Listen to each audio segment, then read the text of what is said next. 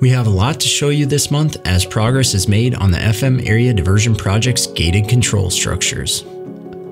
I'm Tom Fuchs, the MFDA Senior Construction Manager, with an update for you. Our view starts at the Wild Rice River structure, where concrete work has progressed despite the weather.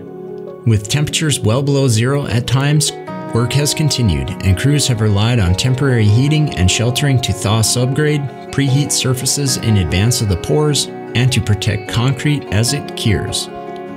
Crews recently completed concrete work on the structure's mechanical platform bridge deck, vehicle service bridge deck, slope protection slabs, and are working to complete the upstream approach apron. With riprap placement underway as well, the project is nearing a milestone of permanently diverting the Wild Rice River through the control structure. As we move east to the Red River structure, crews are busy driving piling. About 16 and a half miles of piling will be needed to support the structure, which will be the largest of the three constructed.